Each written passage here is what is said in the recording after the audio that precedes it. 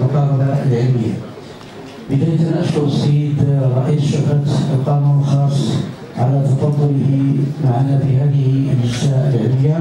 رئيس ومنسق مصر الدراسات العقلية والأستاذ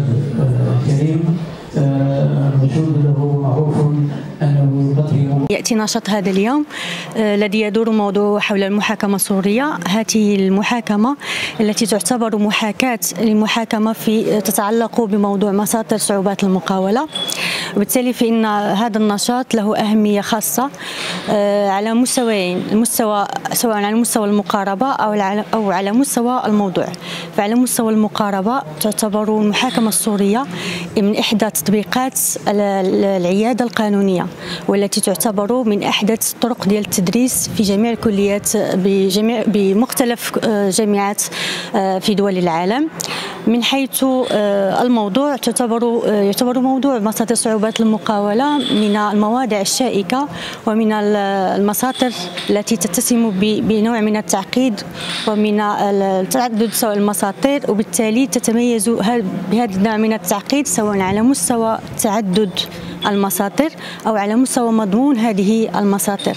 الشيء الذي نجد نجد أو الذي يجد الطلاب وكذا الممارسين صعوبة في التعاطي مع هذا النوع من من هذه المواد أو من هذه المجالات. هذا النشاط يأتي في إطار مجموعة من الأنشطة العلمية التي تم برمجتها في الموسم الجامعي الحالي والذي كان مقرر أن يكون بأيام قبل هذا التاريخ ولكن نظرا لأن الدراسة كانت معلقة عن بعد وبما أن الآن أصبحنا الآن في إطار الدراسة الحضورية قررنا بأن نبداو هذا الموسم من الجامعي الثاني من من السنة بهذا النشاط الذي يمزج في طياته بين الجوانب القانونية الصرفة وبين الجانب العملي.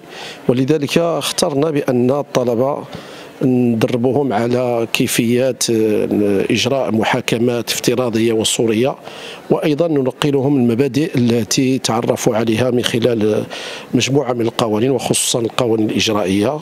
وأخص بالذكر المسطرة المدنية وأيضا قوانين المهنة من ذلك مثلا قانون مهنة المحاماه وما إلى ذلك وأيضا القوانين الموضوعية ذات الصلة بالقوانين الإجرائية. ولذلك يأتي هذا النشاط في هذا السياق وهذا النشاط يعتبر امتدادا طبيعيا لجميع الأنشطة التي نقوم بها في شعبة القانون الخاص إلا أننا اخترنا الآن الماده التجاريه وخصوصا هذا الموضوع المهم الذي يتعلق بصعوبة المقاولة. وفي الوقت نفسه استحضرنا التعديلات القانونية المتعلقة بهذا الموضوع وأيضا الجوانب التقنية والإجرائية من خلال هذه المحاكمة الافتراضية التي سوف يكون لها ما بعدها في مواضيع أخرى نظرا لأهمية هذه المواضيع التي يكتسب فيها الطلبة خبرة مهنية مهمة سيما وانهم مقبلين على إجراء المباريات وأيضا الإدماج في سوق الشغل. نظمت شعبة القانون الخاص. يوما دراسيا مواكبة منها للمستجدات العلمية داخل كلية الحقوق بطنجة.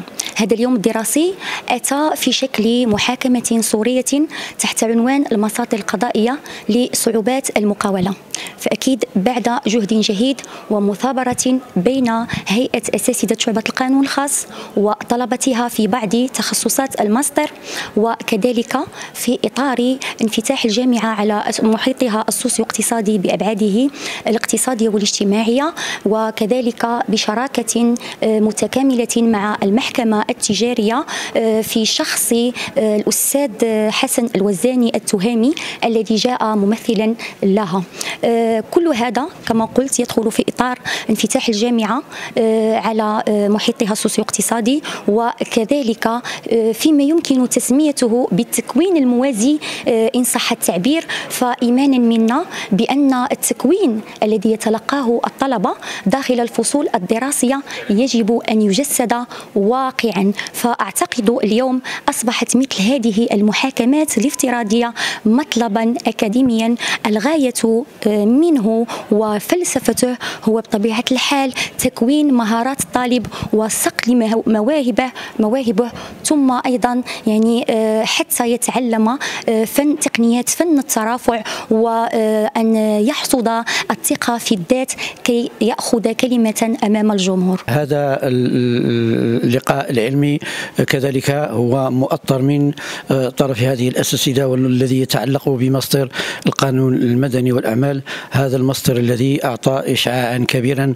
على المستوى الوطني وخريجيه يتمتعون بمستوى جيد من التكوين وذلك بفضل اساتذه هذه الكلية الذين لا يبخلون على طلبتهم لكل ما يحتاجونه من تقديم معلومات ومواكبة والتأطير وغيره من الأمور المتعلقة بالتكوين العلمي. فنشكرهم جميعا.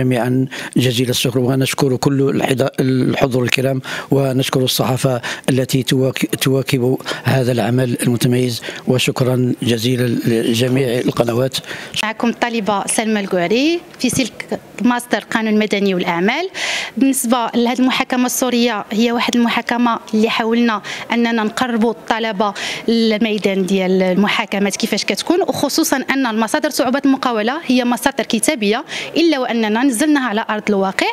وهذه المحاكمة السورية هذه كانت من تاطير الأستاذتين آه، نهال اللواح وإيمان الصروخ اللي آه، عطاونا بزاف ديال النصائح كيفاش تتم المحاكمة كيفاش نهضروا كيفاش ن... يعني كان واحد التاطير شامل. أيضا مع الأستاذ القاضي الوزاني اللي كان بدوره لعبنا واحد الدور مهم في آه، أننا نخرجوا هذه المحاكمة محاكمة جيدة. ونتمنى تكون وصلت الرسالة كيف تتم المحاكمة أن هذه المحاكمة هذه راها لعبت واحد القيمه مضافة لنا حنايا بحالاش؟ أننا حنا دابا على أبواب التخرج آه أننا إن شاء الله نعد من قضاة وأساتذة ومحامون المستقبل. آه إلا وأننا بحال كنقولوا هي واحد العتبة عطاتنا كيفاش نعرفوا الميدان كيدور كيفاش شنو كاين فيه ناخذوا صورة قبلية. وهذا الشيء اللي كاين يعني لنا الشرف أننا ننتمينا لهذه المحاكمة السورية هذه. خدينا فكرة. وشكرا جزيل للأساتذة الكرام اللي اطرونا واختارونا لهم الشكر الجزيل